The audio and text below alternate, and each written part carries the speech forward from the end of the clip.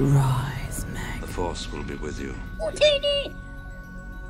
Hello my dear friends and welcome back to another Star Wars news update. In today's video we're going to be talking about how Lucasfilm is afraid of losing Pedro Pascal. We're also going to be talking about the Book of Boba Fett and more. As always, my dear Megalorians, before I dive into it, please may I ask you to hit like down below, subscribe to the channel if you're new and a huge welcome if you are, and also be sure to hit that bell to be alerted each and every time that I post new content to the channel. So without much further ado and without any more jibber jabber, let's dive straight into it.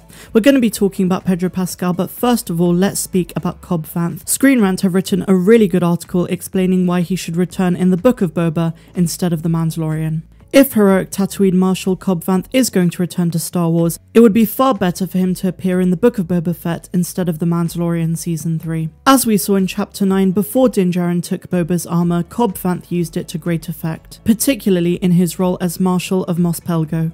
Cobb Vanth's indirect connection to Boba through his armor, his interactions with the criminal underworld, and his residence on Tatooine make the Book of Boba Fett the ideal series for him to return in. With The Mandalorian's third season set to focus on Bo-Katan's rivalry with Din Djarin in order to get the dark saber, the Book of Boba Fett should include Cobb Vanth, and could do so in many ways. While Mos Pelgo may not be close to Boba Fett's new headquarters, the spread of Fett's criminal empire throughout Tatooine would inevitably get Vanth's attention.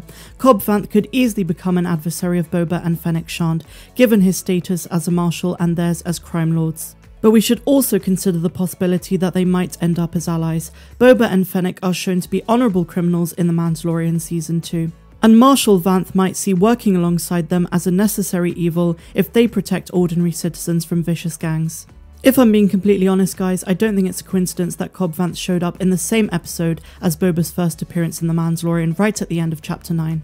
In my opinion, that was Favreau and Filoni's way of setting up the return of Cobb Vanth for a future show. In this case, it's going to be the Book of Boba Fett. I very much doubt we're going to see him in The Mandalorian Season 3. I could be wrong, but I think because the Book of Boba focuses on Tatooine, it's almost inevitable that Cobb Vanth is going to show up. Timothy Olyphant has not confirmed anything at this point, but we will see what happens. But let me know your thoughts on this. Do you think we're going to see Cobb Vanth in the Book of Boba or The Mandalorian Season 3? And a further question, did you enjoy his character when we saw him in The Mandalorian? Or if you first discovered him in Aftermath. So with that in mind, let's move on to our next article. Lucasfilm are reportedly worried about Pedro Pascal leaving the show.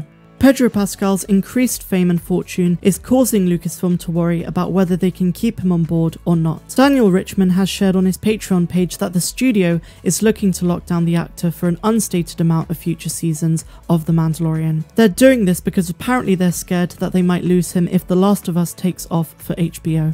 While I don't 100% trust the legitimacy of this article and the claim that they're making, it does seem very compliant with a symptom of what's going on at Lucasfilm to do with The Mandalorian and everything else right now. Bear in mind that the visual guide for Mando, as well as the novel, has been cancelled. And while there's been a lot of business talk excuses as to why this is, a lot of fans are worrying that The Mandalorian Season 3 could be cancelled. In essence, they might just go with the spin off shows and end the main one entirely. Now, we all know where this started. It all started with the firing of Gina Carano, but there are a lot of things behind the scenes that as fans we don't get to see and hear. I would like to believe that the Mandalorian is not in trouble, but we just have to wait and see what announcements come. Seeing everything that's going on right now, I can't help but feel that when marketing begins for The Mandalorian Season 3, the hype just isn't going to be half as great as it was for Season 2. Of course, this might affect viewership and the perception of the show on the whole. I hate to say it, and I do like to stay positive on this channel, but I guess we'll just see what happens. And now, my dear friends, we're going to return to the Book of Boba. 10 ways it can avoid similarities with The Mandalorian. Evidently, the Book of Boba is an offshoot of The Mandalorian, but it does need to stand out as its own show, even if it does tie into the Mandoverse. So here are the 10 ways it can do that. Number 1 is more on the anti side of anti-hero. Both Din Djarin and Boba are anti-heroes, but Mando is more overtly heroic than Boba is.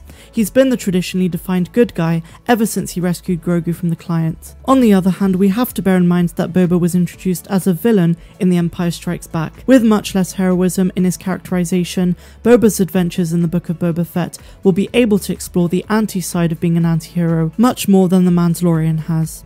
Next up, he has to show his age. When Koska Reeves made a crack about Boba Fett being Mando's sidekick, he engaged her in a bar brawl. Boba surprisingly showed his age in this fight, moving slower than we're used to seeing him and taking more hits than he gave out. If the fight hadn't been broken up by Bo Katan, he probably would have lost. But don't get it wrong because Temuera Morrison is very physically fit, and as we saw in a behind the scenes shoot, he is more than ready for an action packed series. Mando is in the prime of fighting in The Mandalorian, so his fight scenes are zippy and fast paced. The Book of Boba Fett needs to show a tactful Boba as well as showing his age as well. The next one that this article proposes is to have no ties to Force users.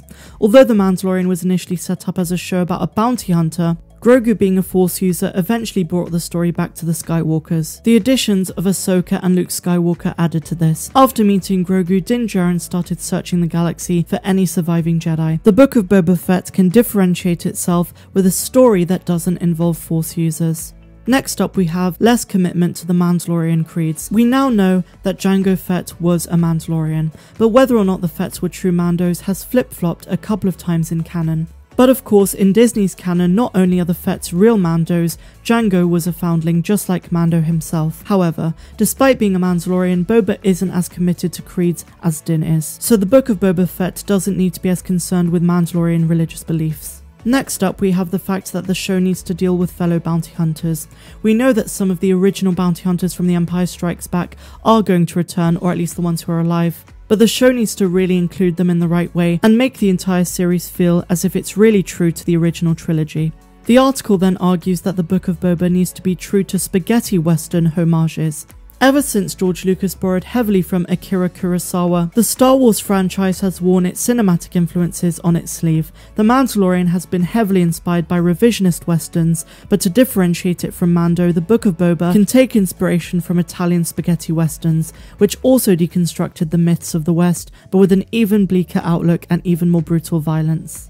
The next one is the Imperial Remnants. While the Mandalorian did touch upon Moff Gideon and the Imperials that are left in the galaxy, the Book of Boba can explore it more broadly. Next up, we have Ming Na Wen's Fennec Shand. She's going to be in the Bad Batch, but she also appears more prominently in live action form in the Book of Boba. After he saved her, she owes him her everlasting allegiance. The show needs to build on that dynamic and be different to Mando and Cara Dune's. The next one is a different backstory. We talked about Daniel Logan, but they do need to show more of earlier Boba's life, maybe not as early as Attack of the Clones, but certainly how he escaped the Sarlacc pit. We didn't get enough backstory to Din Djarin, but maybe we get more backstory to Boba in this series. And finally, it's going to be a different sort of show because it's going to be revenge driven. If the palace takeover scene in The Mandalorian Season 2's finale is anything to go by, the Book of Boba Fett will be driven by Boba's efforts to exact revenge against everybody who wronged him. Revenge is a classic theme in these kind of Western stories, and the Book of Boba needs to deliver that. I'm so excited for the show and I have full faith that it will deliver something spectacular. But what do you guys think? What do you think of today's news update? Smash a like below if you enjoyed it. Let me know all your thoughts in the comments and I will see you next time. I'm Star Wars Meg wishing you all a phenomenal rest of the day, no matter where you dwell in the galaxy. Have a good one.